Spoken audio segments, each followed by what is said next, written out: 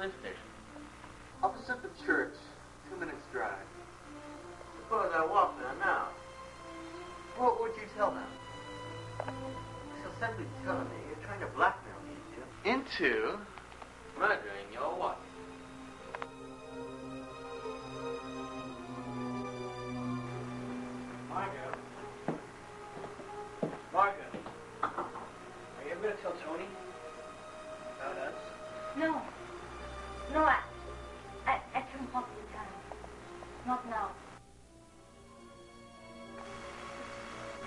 Funny how you can tell when people are in love. Do you believe in the perfect murder? Yes, of course. But only on paper, that is. And why is that?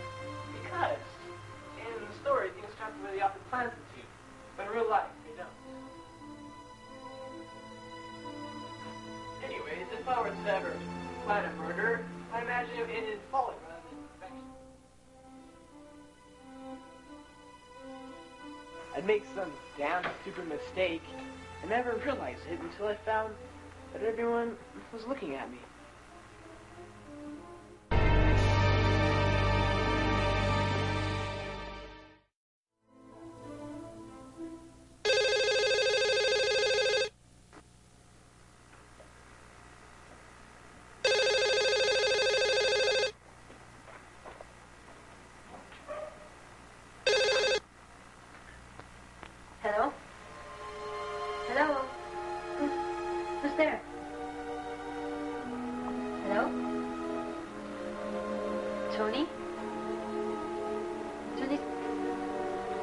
Who's there?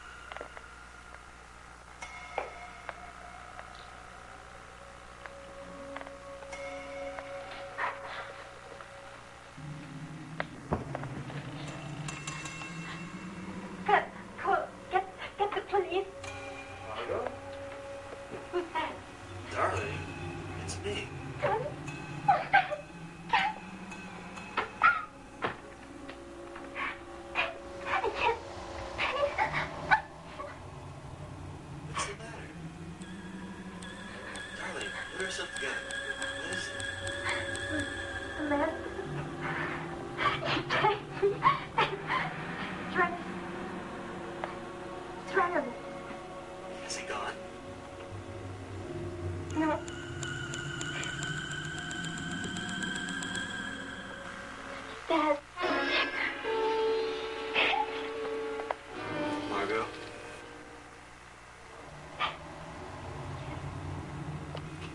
Listen very carefully. Yes, I'm listening. Don't touch anything. I'll be with you in a minute.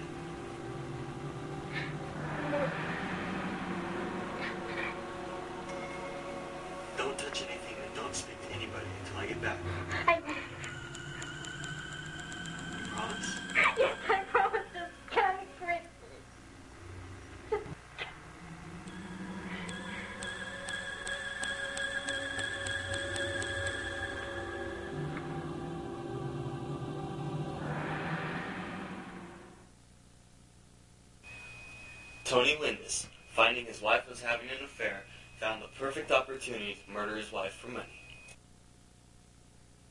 Captain Lesgate, con man and scoundrel, blackmailed into murder. Margot Wendice and Mark Halliday, two lovers who share a not so secret affair. Detective Hubbard,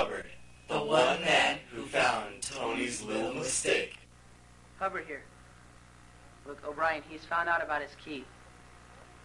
Well, he came back just now and he couldn't get in. I think he's on his way to the station right now. Has the handbag arrived yet? Good. Okay, look. Give Wendice the handbag and make sure he sees the key. You might have to have him sign out and check the contents. If he asks about his raincoat or his key, um, just, just tell him that I'm in Union Square. Any questions? All right. Look, call me as soon as he leaves the station. All right. Well, Mr. Wendice, uh, have you got it? Uh, I don't think so. Uh, where's Mrs. Wendice's key? Well, I had already been suspecting, as I told you, Mrs. Wendice, that your husband had planned this murder. And after the investigation, I took it upon myself to find the key.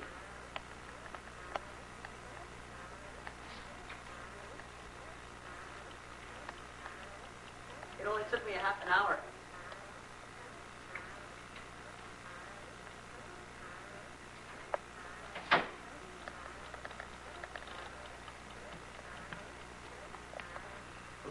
But if it were there, didn't Wendice use it right now? He didn't use it because he didn't realize it was there. He thinks it's still in his wife's handbag. You see, you were very nearly right. He told Lesgate that he'd leave your key up above the door and to put it back in the same place when he left. But when Lesgate was killed, he naturally assumed that it was still in his pocket. That was his little mistake. You see, Lesgate did exactly what you suggested, Mr. Halliday. He came in, put the key back, and then closed the door. Out there the entire time. And the key that Wendice took out of Lesgate's pocket and turned to her handbag was Lesgate's own latchkey. Mind you, I didn't even get to that one at first. Oh, I thought your husband might have changed the locks, or you know, it just surprised me that he didn't have a latchkey on him. You know, usually everyone, usually a man has a, has a latchkey on him. But when I found the key, I the notion struck me, and I Lesgate the address, put in a lock, and when I let myself in, I decided to borrow the phone and I called the station.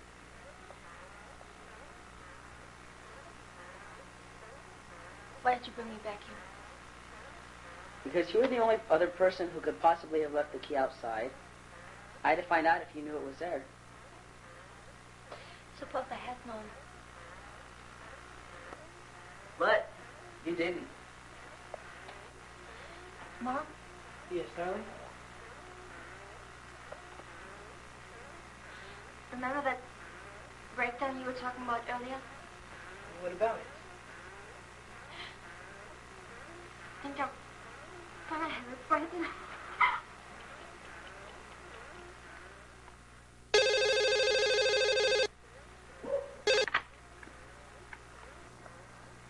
O'Brien. He did. Uh, okay, thanks. He just left the station. Try to hold on a little bit longer.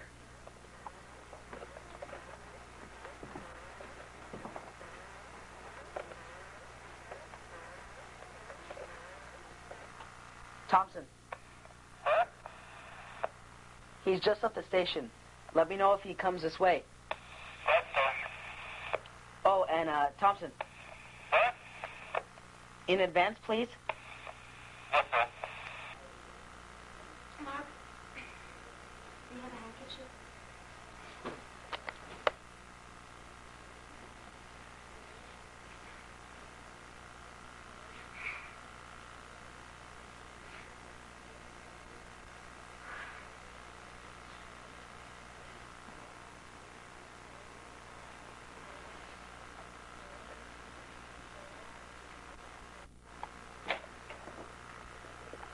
So what happens now?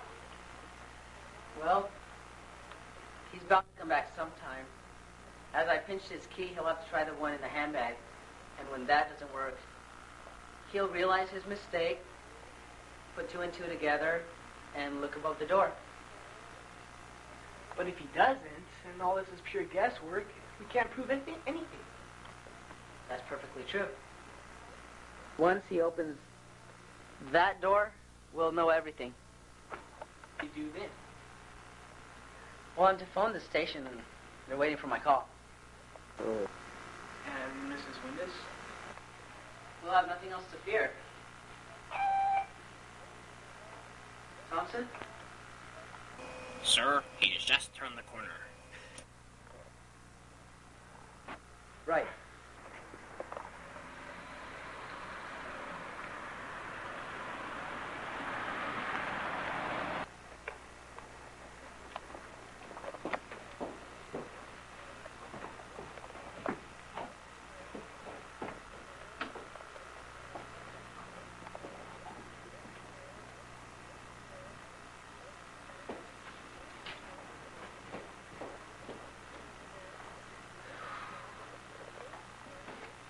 All we do now is wait.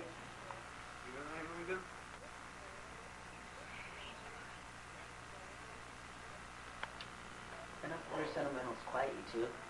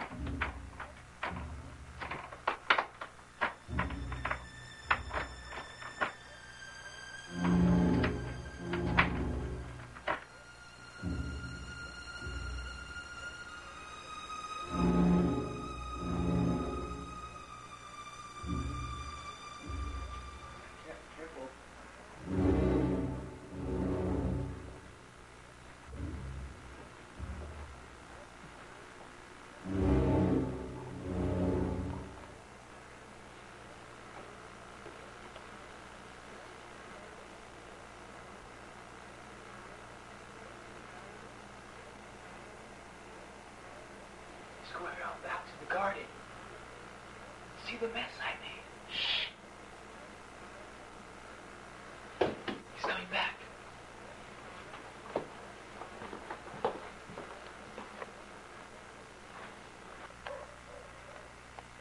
He's remembered.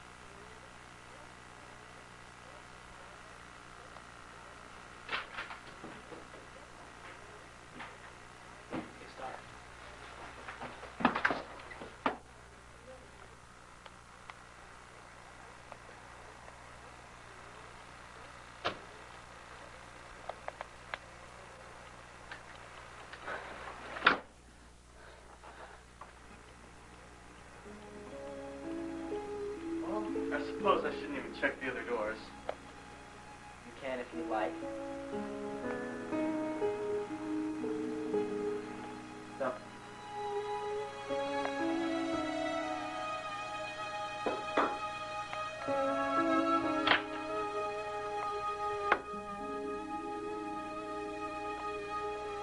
Margot? Mark? Not today, Tony? Detective.